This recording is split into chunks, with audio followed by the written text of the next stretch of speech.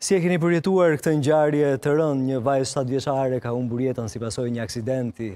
buzë detit? Unë faktikisht ndodhem në Himarë dhe patjetër që ishte një ngjarje shumë tronditëse, duke qenë nënë vetë patjetër që e ndjej këtë thellësisht si çdo nënë tjetër, por edhe si çdo qytetar në Shqipëri që e ka përjetuar jashtëzakonisht shumë këtë ngjarje shumë të rëndë për vendin tonë. Ajo çka Mund të them e para është që ndjej një keqardhje për familjen dhe shpreh ngushëllimet e mia më të thella për familjen Avdiu. Ndaj për këtë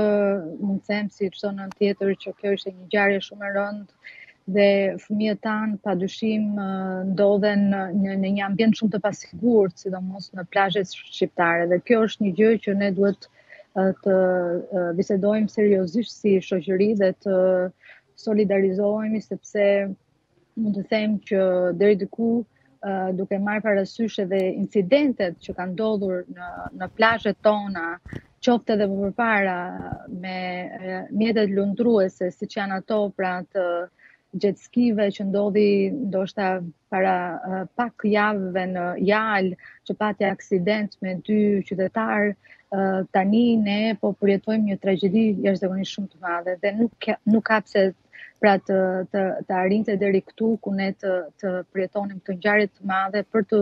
për të patur pra një siguri më tepër në këtë vend. Dhe ajo çka mund të them realisht si nënë dhe si qytetare e këtij vendi është që jeta jonë vërtet është e pasigurt në detet shqiptare sepse nuk ka nuk ka pra një përgjegjësi të mirëfilltë qoftë të institucioneve që nuk funksionojnë ashtu siç duhet, qoftë ligjeve që nuk zbatohen ashtu siç duhet, thjesht janë në letër, por edhe të përgjegjësisë tonë si qytetarë ne duhet të bëjmë të pamundur për të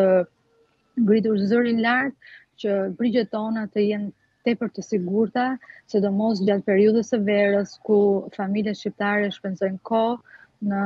në jugun e Shqipërisë apo siç ka shumë shqiptarë që rikthehen në në vendin e tyre për të kaluar sado pak kohë me familjarët e tyre dhe ndodh kjo tragjedi e madhe ndërkohë që ata pushojnë dhe duan të kalojnë pak kohë në vend në Shqipëri. Pra,